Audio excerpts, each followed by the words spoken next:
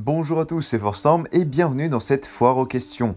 Il y a à peu près deux semaines, je vous l'avais annoncé, vous avez posé toutes vos questions et désormais le temps est venu d'y répondre. Je vais d'abord procéder aux questions par rapport à mes goûts et mes passions, puis je finirai par les questions plus épicées en parlant de ma chaîne en elle-même. Et nous commençons par une question de Mega Clash concernant l'élection de Joe Biden et ce que j'en pense. Alors voici ma réponse. Une surprise, assurément. Une bonne surprise. J'admire la démocratie. J'ai la passion de la République. Bref, sans plus tarder, commençons par la première question qui s'est beaucoup répétée concernant la série que j'attends le plus.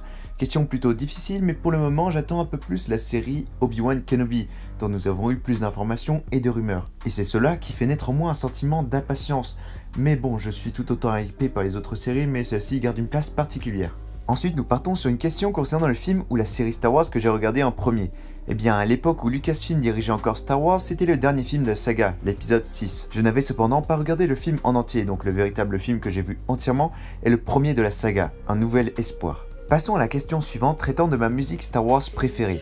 Question vraiment complexe, là je, je galère puisque je respecte énormément le travail de John Williams et j'aime énormément toutes les musiques qu'il a créées pour la saga. Si je retiens quelques-unes, ce sont les classiques tels que la marche impériale, Jedi Fury durant le combat Dark Vador contre Luke Skywalker dans le retour du Jedi, Duel of the Fate, Battle of the Heroes et bien d'autres que je ne peux pas citer sinon la vidéo durerait une heure. Bref, pour moi le choix est difficile, en tout cas je les trouve toutes réussites, et c'est ce qui fait pour moi la réussite de la saga. Et c'est justement l'une des choses qui font que je suis un fan passionné de Star Wars. D'ailleurs, on peut passer à la question suivante, qu'est-ce qui te passionne dans Star Wars? Et as-tu d'autres passions? Tout d'abord, concernant ma passion de Star Wars, c'est comme je l'ai dit, la musique, mais aussi les batailles spatiales ou au sabre, et surtout les scénarios avec des méchants avec une armée toujours énorme et un charisme incroyable, comme pour Dark Vador par exemple. Ce que j'adore également, c'est l'espoir et les messages qui se transmettent, notamment concernant la rédemption et la rébellion. Concernant mes autres passions, j'aime beaucoup dessiner, surtout du Star Wars. J'ai d'ailleurs réalisé au dessin le logo actuel d'Absolute et pour moi c'est un honneur de l'avoir inspiré en lui offrant le commandant Cody. J'aime beaucoup également l'histoire avec un grand H, ainsi que les musiques de films, le montage, les vidéos, et c'est à peu près tout avec, euh, bien évidemment, Star Wars. On peut maintenant aller sur la question quelles sont tes sagas préférées qui répondra en même temps à la question de Dark Suba. Alors comme la petite blague qu'a fait Dark Suba, quel sorcier aimes-tu dans Harry Potter? On va d'abord expliquer cette blague parce que j'avais dit pas de Harry Potter dans les questions car en effet je déteste cet univers, désolé pour ceux qui aiment, mais c'est mon goût. Bref, revenons sur les univers que j'aime, mis à part Star Wars, j'aime beaucoup la saga Indiana Jones, Rocky Balboa, Rambo, Kingsman, et je vais faire plaisir à The Lord Vader, J'aime énormément Jurassic Park et Jurassic World. Il y a plein d'autres univers que je suis également tels que Marvel et Terminator, mais ceux que j'ai cités précédemment restent les sagas que je préfère.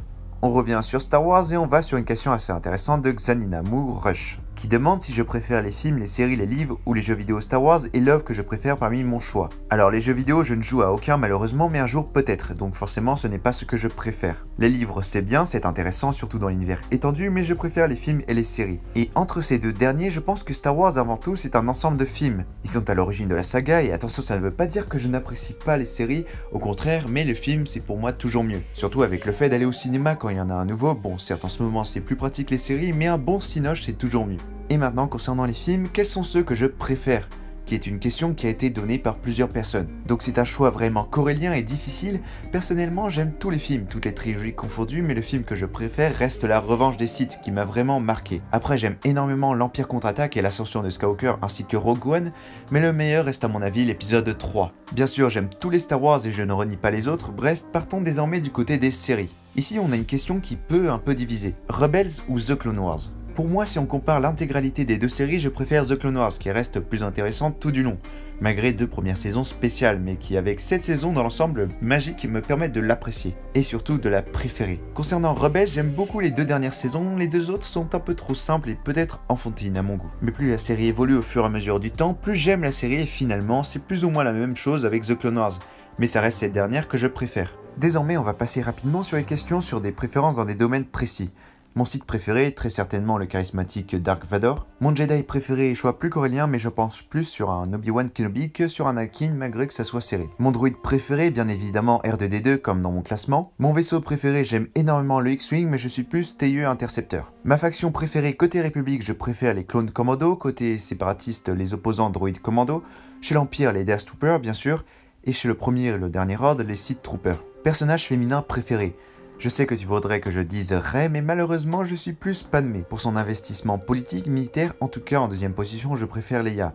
Mais après tout, j'apprécie à peu près tous les personnages féminins de Star Wars, donc j'aime bien Rey. Réseau social préféré, Twitter. On partage plein de choses, même avec de grosses personnalités ou grands youtubeurs. Les débats sont intenses. Youtubeur préféré, côté anglophone, j'aime beaucoup Star Wars Theory. Côté francophone, j'apprécie énormément Sidemall, leader français, mais je suis plus du côté d'Absolute. Partons ensuite sur la question de The Lord Vader demandant sur quel personnage aimerais-je une série. Alors comme beaucoup de fans, j'aimerais absolument une série sur Dark Revan, même si je pense rêver, c'est un personnage qui a une histoire très intéressante, mais qui est très peu exploité. Sinon, j'aimerais absolument une série non pas sur un personnage précis, mais sur la Delta Squad, qui mérite d'être mieux exploité dans Star Wars. Et si on pouvait revoir ces clones et entendre une nouvelle fois le thème de Vodéan, je serais vraiment en joie. Surtout que dernièrement, le compositeur du chant a été rappelé pour refaire la musique. Alors mon dieu, une série, même une mini-série à l'image de The Bad Patch que j'adorerais.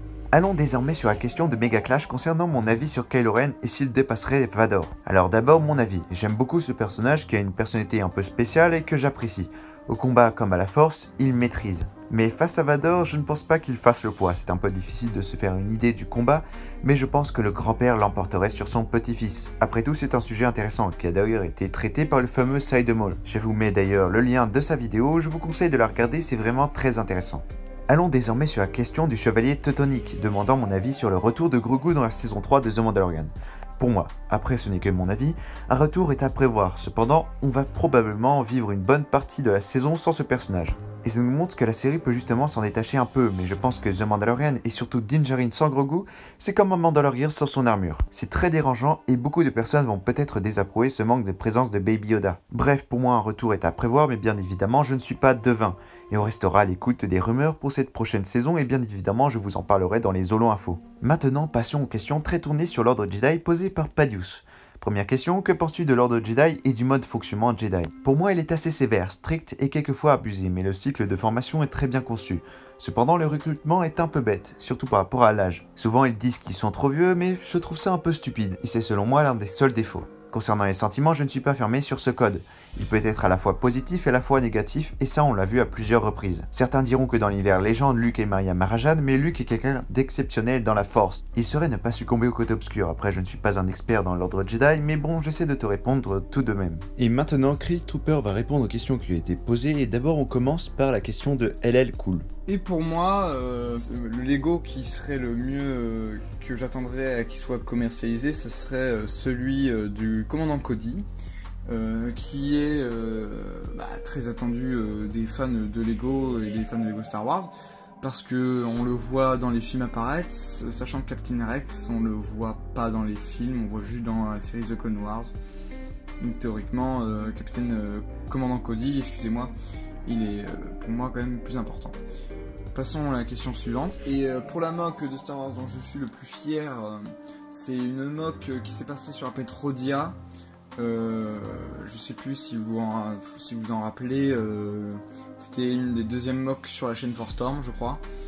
Et c'était une unité de, clones qui retournait dans un ancien champ de bataille de leurs anciens confrères de des, des premiers clones phase 1. Donc oui, euh, cette moque euh, m'a bien plu et euh, même si elle était petite, j'en étais fier. Après là, c'est récemment la moque de Corellia là, qui était, qui était assez, bien. Que penses-tu des Lego de The Mandalorian et vas-tu en acheter un? Si oui, lesquels? Donc pour les Lego de The Mandalorian, ce que j'en pense, bah, c'est bien, c'est magnifique. Ce sont des beaux sets. Euh, j'aime bien le Razor Crest et euh, notamment la boîte qui va arriver aussi là avec les Pierre Tusken et euh, le Mandalorian et, et, le gros Grou ou Bébé Yoda. donc oui, alerte spoiler évidemment, excusez-moi. Et donc oui, ces, boîtes-là sont plutôt bien. Les boîtes de Mandalorian en général sont bien, mais ma préférée reste quand même celle de, du TRTT de l'Empire qui a été remasterisé, on va dire, par euh, des pillards. Voilà, je, l'aime bien. Si je devais en acheter un, ça serait celui-là. Répondre à la question de euh, de cool. donc, bah, la semaine dernière, du coup, qui a été ma première boîte de Lego Star Wars, mes premiers Lego Star Wars. Donc, ça a été celle-ci. Donc, je sais pas, je sais pas si vous vous rappelez du nom de ce set. Mais plus exactement, c'était un set avec des clones Gunner et euh, des clones ARF, euh, phase 1, voilà, que j'avais reçu avant mes 10 ans, bien avant. J'avais peut-être 5 ans. Voilà, quand j'ai reçu cette première boîte. Donc voilà, cette boîte là en plus elle, date d'il y a longtemps. Donc voilà, donc j'étais content quand j'étais petit d'avoir eu cette boîte.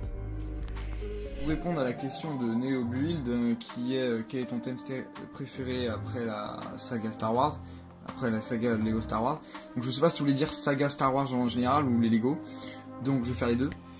Euh, pour ce qui est de Star Wars, après ma saga préférée après Star Wars, ça serait ce qui est l'univers de Tolkien, donc les Seigneurs des Anneaux, et, etc avec euh, la série Game of Thrones et puis tous les films de science-fiction qui vont avec, Avatar, euh, et Star Trek, etc. Et après pour l'univers Lego, euh, les seuls univers Lego que j'aime après Lego Star Wars, c'est à la limite Pierre des Caraïbes et, et bien sûr le Seigneur des Anneaux. Deuxième question qui vient encore de NeoBuild, donc qui est tu préfères les figurines ou les briques?